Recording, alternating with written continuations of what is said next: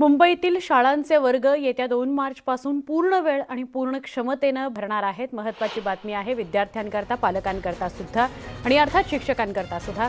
राज्याचे पर्यावरण मंत्री आणि मुंबई उपनगराचे पालकमंत्री आदित्य ठाकरे यांनी ही माहिती दिली आहे. पूर्ण क्षमतेनं शाळा सुरू करण्याची पालिकेला परवानगी देण्यात आलेली आहे आणि शाळा दोन मार्चपासून पूर्ण वेळ आणि पूर्ण क्षमतेनं सुरू होतील अशी माहिती समोर येते.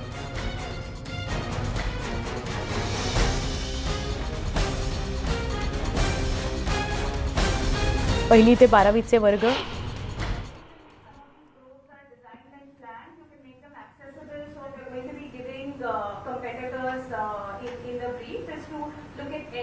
This is like Mumbai.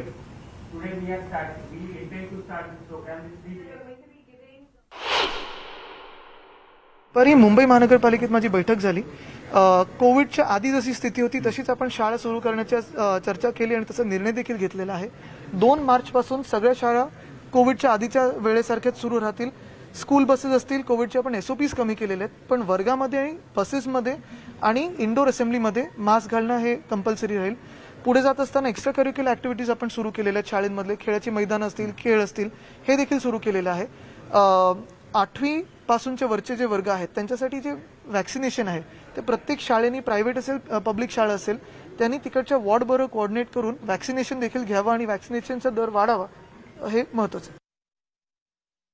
S T महामंडळाचं राज्य सरकारमध्ये विलिनीकरण करण्यासंदर्भात अहवाल आज राज्य सरकारकडून न्यायालयात सादर केला जाणार होता. या संदर्भातील याचिकेवर मुंबई हायकोर्टात युक्तिवाद सुरू होता मात्र हायकोर्टाने एस टी विलिनीकरणाच्या अहवालावरील सुनावणी पुढे ढकलली आहे. आता अकरा मार्चला यावर पुढील सुनावणी होणार आहे. कोर्टाच्या या निर्णयामुळे एस टी कर्मचाऱ्यांच्या संपाचा तिढा कायम राहिलाय. दरम्यान अहवालाला राज्य मंत्रिमंडळाची परवानगी आवश्यक असल्याचं मत राज्य सरकारच्या वतीनं मांडण्यात आलंय. त्यामुळे हायकोर्ट आता अकरा मार्चला यावर काय निर्णय घेणार याकडे एस टी कर्मचाऱ्यांचं लक्ष लागलेलं आहे. कॅबिनेटच्या मंत्र्यांची प्रामाणिकता पाहायची आहे. ते कष्टकऱ्यासोबत आहेत की मारेकरी म्हणून उभे आहेत. हे आता येणाऱ्या दोन आठवड्यात कळणार आहे.